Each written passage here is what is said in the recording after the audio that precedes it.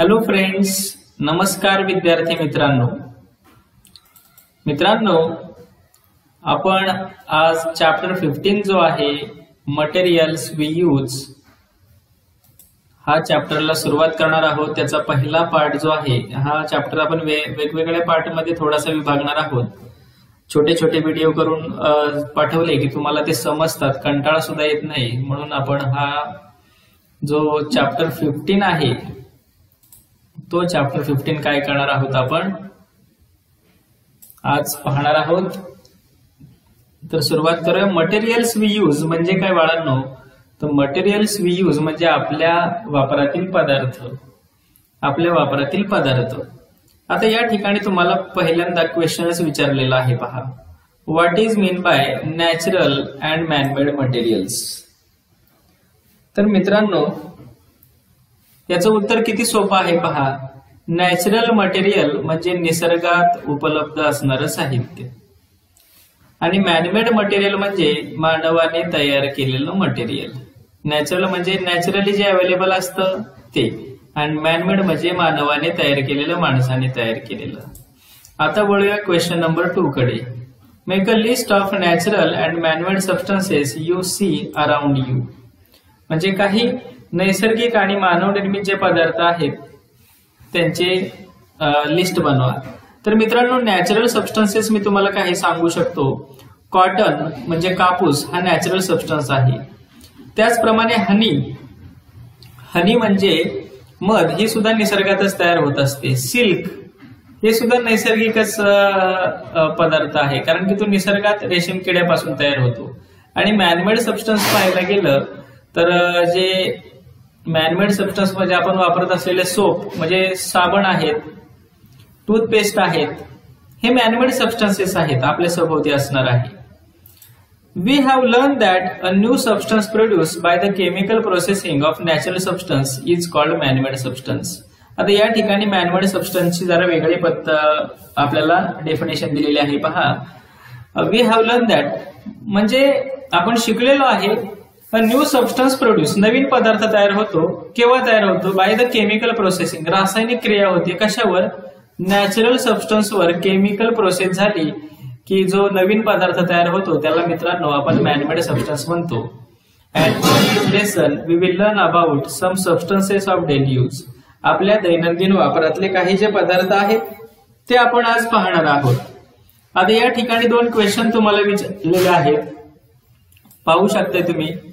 Which substances were used earlier for cleaning teeth म्हणजे पूर्वीच्या काळी दात स्वच्छ करण्यासाठी कोणते पदार्थ वापरले जायचे? तर मित्रांनो in olden days acacia bark म्हणजे अकेशिया नावाचं जे झाड आहे त्याची बार्क म्हणजे साल वापरली जायची. निम ट्विग्स लिंबाच्या काड्या वापरल्या जायच्या. कोल पावडर कोळशाची पावडर वापरली जायची दात स्वच्छ करण्यासाठी. त्याचप्रमाणे चुलीतली जी ऍश आहे ना राखुंडी म्हणतात तिला किंवा राख म्हणतात ती वापरली जायची. दंतमंजन असायचं. सॉल्ट सॉल्ट म्हणजे मीठ सुद्धा मिठाने सुद्धा दात स्वच्छ केले जायचे. आणि असे हे पदार्थ पूर्वीच्या काळी दात स्वच्छ करण्यासाठी वापरले जायचे. त्यानंतर आहे question number two what do we use today to clean our teeth सध्या आपण आपले दात स्वच्छ करण्यासाठी काय वापरतो? तर मित्रांनो सध्या आपण दात स्वच्छ करण्यासाठी टूथपेस्ट किंवा टूथ पावडर वापरतात. बाजारात वेगवेगळ्या टूथपेस्ट आहेत. दंतकांती कोलगेट मिसवाक असेल आहे की नाही? बबूल असेल अशा अनेक पेस्ट असेल पेप्सोडेंट असेल अशा अनेक टूथपेस्ट आहेत बाजारामध्ये ते आपण सध्या आपले दात स्वच्छ करण्यासाठी वापरतो. तर आता मित्रांनो पाहूया पुढे. We have seen that in older times in India acacia bark neem twigs coal powder ash, tooth powder salt pomegranate पहा या ठिकाणी पहा पोम ग्रेनेट रेंड तर या ठिकाणी हा शब्द नवीन आहे तुम्हाला. पोम ग्रेनेट म्हणजे डाळिंब तुम्हाला माहिती आहे. त्याची साल सुद्धा दात साफ करण्यासाठी वापरली जायची. अँड टुडे हा वेवर a variety of toothpaste and tooth powders are used for this purpose आणि आता वेगवेगळ्या प्रकारच्या टूथपेस्ट आणि टूथ पावडर सध्याच्या काळामध्ये वापरल्या जातात.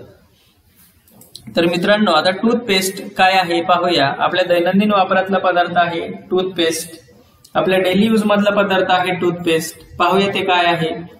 पुस्तकामध्ये काय दिले त्याच्याबद्दल?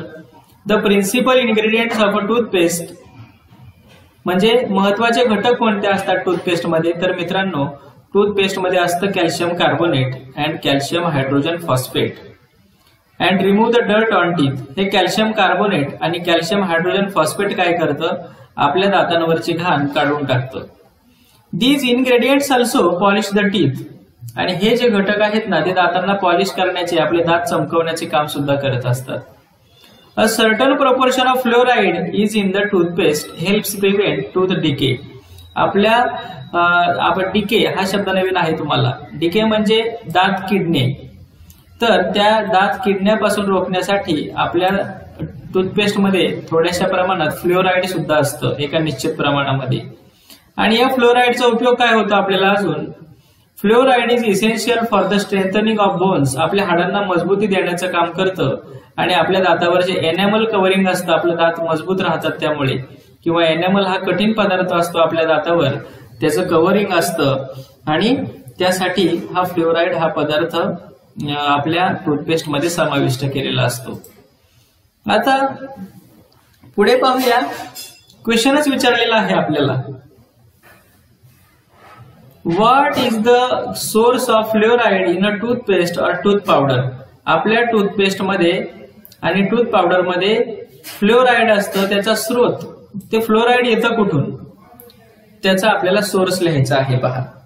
आता पहा fluoride is a naturally occurring element fluoride हा नैसर्गिक पदार्थ आहे.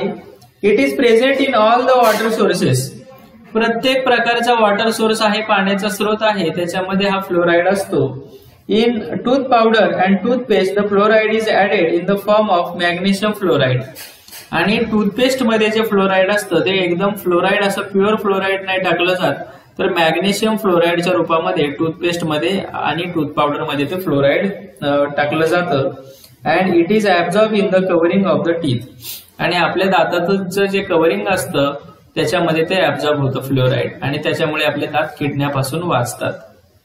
पुढे आहे note down all the information given on a tooth powder toothpaste toothpaste container a carton and discuss प्रत्येक जी टूथ पावडर किंवा टूथ पेस्ट आणली की त्याचा जो बॉक्स असतो ना त्याच्यावरती सगळी इन्फॉर्मेशन काय करा वाचा आणि डिस्कस करा त्याच्यावर चर्चा करा.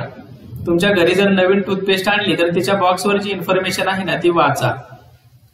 त्याच्यामध्ये इन्ग्रेडियंट्स असतात त्याची एक्सपायरी डेट असते त्याची किंमत असते आहे की नाही? आता पुढे पाहूया आपण डिटर्जंट आता डिटर्जंटला मराठीमध्ये अपमार्जकी असं म्हणतात. डिटर्जंटला मराठीमध्ये काय म्हणतात? अपमार्जकी असं म्हणतात. And the word detergent it derive from the Latin word detergere which means to wipe away हा डिटर्जंट हा जो शब्द आहे ना तो लॅटिन भाषेमधला जो डिटर्जर शब्द आहे याच्यावरून आपल्या भाषेमध्ये आलेला आहे इंग्लिशमध्ये. आणि याचाच अर्थ काय होतो? टू वाईप अवे काढून टाकणे. त्याचाच अर्थ काय होतो? टू वाईप अवे स्वच्छ करणे. A detergent is a substance that cleans or wipes away dirt म्हणजे डिटर्जंटच्या ठिकाणी डेफिनेशनच दिलेले आहे आपल्याला. डिटर्जंट हा असा पदार्थ आहे की जो घाण काढून टाकतो किंवा घाण स्वच्छ करतो. त्यालाच काय म्हणतात? डिटर्जंट किंवा अपमार्जक म्हणतात.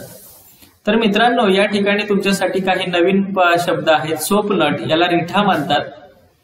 तुम्ही युट्यूबवर किंवा गुगलवर शोधू शकता रिठा सो किंवा सोप नट टाकलं तर त्याच्या इमेजेस तेवढ्या पहा पाहू शकता तुम्ही. सोप पॉड आहे की ज्याला शिके काही म्हणतात हे शेंगासारखे असतात. हे सुद्धा तुम्ही पहा. सोप म्हणजे साबण वॉशिंग सोडा धुण्याचा सोडा वॉशिंग पावडर धुण्याची पावडर. Liquid soap. काही लिक्विड सोप असतात द्रवरूप साबण असतात. है की नाही? And shampoo are all detergent पहा डिटर्जंट कोणते आहेत? सोप नट रिठा हे झाडापासून मिळतात. सोप नट आणि सोप पॉड आणि soap washing soda washing powder liquid soap shampoo हे मॅनमेड आहेत. हे माणसाने तयार केलेले आहेत. पण हे सगळे काय आहेत? डिटर्जंट्स आहेत. हे सगळे घाण स्वच्छ करण्यासाठी वापरले जातात. What do we use for cleaning our body आपलं आपण आपलं शरीर स्वच्छ करण्यासाठी काय वापरतो? तर मित्रांनो आपण आपलं शरीर स्वच्छ करण्यासाठी काय वापरतो? तर आपण शरीर स्वच्छ करण्यासाठी साबण वगैरे वापरतो है की नाही? केस स्वच्छ करण्यासाठी शॅम्पू वापरतो. आता या ठिकाणी काय करायचं आहे? आपल्याला या ठिकाणी काय केलेलं आहे? एक प्रयोग करायचा आहे. पहा. ऍपरेचस काय करायचं आहे आपल्याला? साहित्य काय लागणार आहे आपल्याला? अ क्लीन ग्लास बॉटल एक स्वच्छ काचेची बाटली वॉटर म्हणजे पाणी ऑइल म्हणजे तेल अँड डिटर्जंट म्हणजे अपमार्जक म्हणजे शॅम्पू असेल किंवा वॉशिंग पावडर असेल यापैकी कोणते डिटर्जंट घेतलं तरी चालेल. आता प्रोसिजर काय करायचे आहे पहा. Take some water in a clean glass bottle स्वच्छ काचेच्या बाटलीमध्ये काय करा? थोडस पाणी घ्या. Add some oil to it आणि त्याच्यामध्ये काय करा थोडस तेल टाका. The layer of oil will float on the water आता पाण्यामध्ये तेल टाकल्यानंतर काय होणार आहे ते तेल पाण्यावर तरंगणारच आहे. शेक द बॉटल विगोरसली ती बाटली काय करा काचेची हलवा की ज्याच्यामध्ये पाणी आणि तेल आहे. After some time when the liquid in the bottle settles जेव्हा त्यातलं जे लिक्विड आहे द्रव पदार्थ जो आहे तो स्थिर झाल्यावर काय करा? काय दिसेल तुम्हाला? The oil will again will seen floating on the water हलवल्यानंतर थोडस ते पाणी आणि तेल तुम्हाला मिक्स झाल्यासारखं वाटेल. पण पुन्हा ती बाटली शांत ठेवली तर ते काय होणार आहे? पुन्हा ते पाणी तेल त्याच्यावर तरंगताना दिसणार आहे. Now add a few drops of a solution of a detergent to the above mixture आता जे वरचं मिक्सर आहे ना तेल आणि पाणी याच्यामध्ये काय करा डिटर्जंट चे थोडेसे ड्रॉप टाका थेंब टाका. And shake the bottle vigorously आणि पुन्हा ती बाटली हलवा. You will see that water and oil have become homogeneous आणि आता तुम्हाला काय झालेलं दिसेल? होमोजिनियस म्हणजे एकरूप झालेले दिसेल. म्हणजे पाणी आणि तेल एकरूप झालेले दिसेल. And the colour of the mixers appears milky आणि जे मिक्सचर आहे त्याचा रंग असा दुधाळ असेल थोडासा फेस आल्यासारखा दिसणार आहे तुम्हाला. तर असं का होतं? वाय डज दिस हॅपन असं का झालं? पहिल्यांदा तेल आणि पाणी आपण मिक्स केलं हलवलं तर ते मिक्स झाले नाहीत पुन्हा ते पाणी वेगळं दिसायला लागलं तेल वेगळं दिसायला लागलं. पण जेव्हा त्याच्यामध्ये डिटर्जंटचे थेंब टाकले दोन लिक्विडचे दोन थेंब टाकले तर ते पाणी आणि तेल आपल्याला एकसारखं झालेलं दिसायला लागलं. तर हे असं का झालं? आता पाहूया ते तसं का झालं. The molecules of a detergent are long and the properties of its two ends are different हे जे मोलिक्युल्स असतात डिटर्जंटचे डिटर्जंटचे जे मोलिक्युल्स असतात डिटर्जंटचे मोलिक्युल्स म्हणजे आपण जे डिटर्जंट टाकले त्याचे जे मोलिक्युल म्हणजे रेणू आहेत त्याचे कोणाचे रेणू? जे डिटर्जंट आपण त्याच्यामध्ये टाकलेलं आहे मोलिक्युल्स ऑफ अ डिटर्जंट त्याचे जे रेणू आहेत ते कसे असतात? लॉंग असतात. कसे असतात? लांब असतात. And properties of its two ends are different त्याच्या जे दोन टोक आहेत त्याच्या दोन्ही टोकांचे काय आहेत प्रॉपर्टीज गुणधर्म वेगळे असतात. A molecule of a detergent holds on to a water molecule at one end and oil on molecule at other मग हा जो लांब असा मोलक्युल आहे कोणाचा? या ठिकाणी तुम्हाला दिलंय मोलक्युल ऑफ अ डिटर्जंट पहा. पहा या ठिकाणी तुम्ही पाहू शकताय. मी या ठिकाणी अॅरो करणार आहे आता. या ठिकाणी हा मोलक्यूल ऑफ डिटर्जंट दाखवलेला आहे तुम्हाला. मोलक्यूल ऑफ डिटर्जंट दाखवलेला आहे. तो लांब असतो मग तो काय करतो? एका बाजूला पाण्याचा रेणू वॉटरचा मोलक्यूल एका बाजूला पकडतो आणि दुसऱ्या बाजूला तेलाचा मोलक्यूल पकडतो. कारण की त्याच्या दोन्ही टोकाच्या प्रॉपर्टीज वेगळ्या आहेत. आणि मग as a result the molecules of oil mix with the water आणि अशा पद्धतीने जे तेलाचे रेणू आहेत मोलिक्युल्स आहेत ते पाण्यामध्ये मिक्स होतात. This is how soap act when we wash our selves or our soil clothes म्हणजे जेव्हा आपण स्वतःचा चेहरा धुतो किंवा आपले शरीर स्वच्छ करतो किंवा कपडे धुतो तेव्हा काय होतं? Our body and clothes become oily for various reasons as such applying gels or creams आपण बरेचसे जेल क्रीम्स लावल्यानंतर काय होतं? आपला चेहरा तेलकट झालेला असतो. किंवा आपल्या केसांच्या तेलामुळे सुद्धा आपला चेहरा तेलकट झालेला असतो. किंवा केस सुद्धा आपले चिकट झालेले असतात.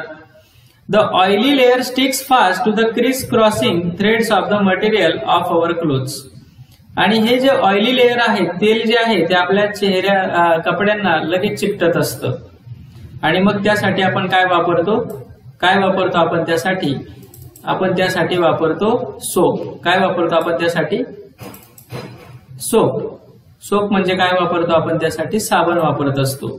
आणि मग या साबण वापरल्यानंतर काय होतं? तेलाची रेणू एका बाजूला पाण्याची रेणू एका बाजूला आणि ते तेल पाण्यामध्ये मिक्स झाल्यासारखं वाटतं आणि तो चिकटपणा किंवा तेलकटपणा निघून जातो.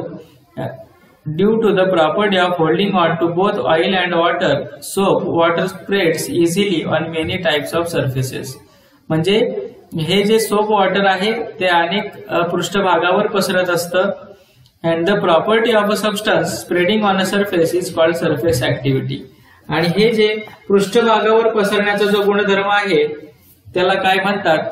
सरफेस ऍक्टिव्हिटी म्हणतात. काय म्हणतात? त्याला the property of a substance spreading on a surface एखाद्या सरफेसवर पसरण्याचा त्याचा जो गुणधर्म आहे त्याला सरफेस ऍक्टिव्हिटी म्हणतात किंवा त्याला पृष्ठ सक्रियता म्हणतात. And the substance is set to be surfactant आणि सरफॅक्टंट म्हणजे पृष्ठ सक्रिय पदार्थ असं म्हटलं जातं त्याला. And detergents are surface active आणि जे डिटर्जंट्स असतात ना मित्रांनो ते पृष्ठ सक्रिय असतात. And one effect of surface activity is lather lather formation म्हणजे या ठिकाणी लेदरचा अर्थ पहा काय दिलेला आहे तुम्हाला? लेदर फॉर्मेशन म्हणजे सरफेस ऍक्टिव्हिटीमुळे काय होतं मित्रांनो? तर सरफेस ऍक्टिव्हिटीमुळे काय होतं? लेदर फॉर्मेशन म्हणजे फेस तयार होतो. काय तयार होतो? फेस तयार होतो. सरफेस ऍक्टिव्हिटीमुळे काय होतं? लेदर फॉर्मेशन म्हणजे फेस तयार होतो. मित्रांनो या पार्टमध्ये आपण एवढंच पाहूया. पुढे नॅचरल डिटर्जंट आणि मॅनमेड डिटर्जंट जे आहेत सिंथेटिक डिटर्जंट ते आपण पुढील व्हिडिओमध्ये पाहणार आहोत. त्याची लिंक सुद्धा मी डिस्क्रिप्शनमध्ये तुम्हाला दिलेली आहे. थँक्यू